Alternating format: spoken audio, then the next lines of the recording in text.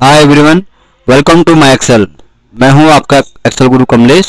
आज के इस वीडियो में हम बात करेंगे लेफ़्ट फार्मूले के बारे में, कि कैसे हम लेफ़्ट फार्मूला एक्सेल में यूज़ कर सकते हैं। जिसके लिए मैंने यहाँ पर एक डेटा शीट बनाया हुआ है, ठीक है?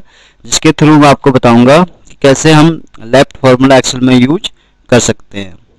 तो यहाँ पर कुछ नेम ऑफ़ स्टूडेंट हैं, ठीक है? जिसके थ्रू मैं आपको बताऊँगा कि कैसे हम लेफ़्ट फार्मूला एक्सेल में यूज़ करते हैं। अब सबसे पहले हमें ये जानना ज़रूरी है कि लेफ़्ट फार्मूला काम क्या करता है। अभी यहाँ पर जैसे आपको कुछ नेम जैसे यहाँ पर आप देख रहे हैं रमेश कुमार मनीष कुमार सुरेश सिंह मनीष सिंह रीता सिंह इस तरह के कुछ नेम हैं ठीक है। अभी हमें चाहिए कि जो जैसे रमेश कुमार है इसका जो पहला जो लेट, आ, नेम है जो फ़र्स्ट नेम है वो हमको चाहिए। ठीक है? तो वो कैसे होगा? तो उसके लिए ये लेफ़्ट फॉर्मूला ही एक ऐसा फॉर्मूला है जिसके थ्रू आप उसका फ़र्स्ट नेम जो है निकाल सकते हैं। ठीक है? तो चलिए देखते हैं फिर कैसे ये लेफ़्ट फॉर्मूला हम यूज़ कर सकते हैं। सबसे पहले आपको यहाँ पर इजिकल टू प्रेस करना है। ठीक है? उसके बाद आपको यहाँ पर लेफ़्ट ठीक है? लेफ़्ट मीन्स आपको टैक्स सेलेक्ट करना है। ठीक है?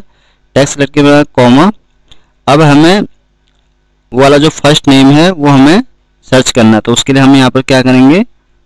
फाइन ओके फाइन के बाद हम यहाँ पर क्या करेंगे? डबल इन्वर्टेड कॉमा क्योंकि ये डबल इन्वर्ट काम कॉमा काम करता है स्पेस का। ये स्पेस को फाइंड आउट करेगा। विद इन टैक्स ठीक है? किस टैक्स से फाइंड आउट करना है हमें? इस टैक्स से ओके देन उसके बाद हम क्या है? वन क्योंकि हमें उसका पहला middle name sorry first name चाहिए तो उसको हम यहाँ पर सेलेक्ट करेंगे। तो यहाँ पर हम वन न्यूमरिक टाइप करेंगे और उसके बाद इसको क्लोज कर देंगे।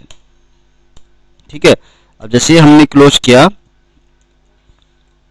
और हमें क्या है, हमें हर जगह इसका रिज़ल्ट चाहिए तो हम क्या करेंगे, इसको पूरा कॉपी कर देंगे। तो आपने देखा कि हमें इसने क्या किया, जो जो उसका, जो फ़र्स्ट नेम था, ठीक है, रमेश कुमार का, जैसे रमेश था मनीष का मनीष था सुरेश, इस तरह से इसने सबका क्या है हमें रिज़ल्ट निकाल के यहाँ पर दे दिया। ठीक है?